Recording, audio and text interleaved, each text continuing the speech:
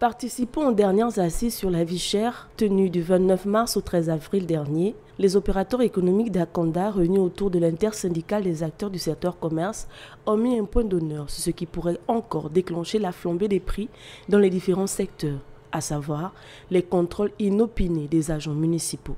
La vie chère, c'est le trop de contrôle qui, fait que la, qui a causé la vie chère. Alors donc nous demandons, surtout le Premier ministre, de remettre l'ordre sur ce qui s'est entendu sur le, sur, le terrain. Autre fait énoncé, la taxe sur l'environnement qui leur est imposée par certains agents contrôleurs.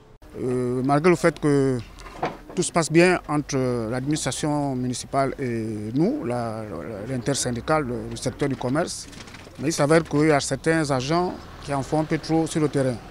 C'est-à-dire, euh, nous savons tous que la taxe, sur, la taxe synthétique sur l'environnement pas, les briquetiers ne sont pas assujettis à cette taxe. Mais il y en a toujours certains agents qui vont dans le sens de, ramener les opérateurs à payer une taxe qui ne les concerne pas. En attendant que les dés de la commune d'Akonda réagissent face aux préoccupations qui sont les leurs, ces opérateurs économiques disent ne plus pouvoir tenir les deux bouts.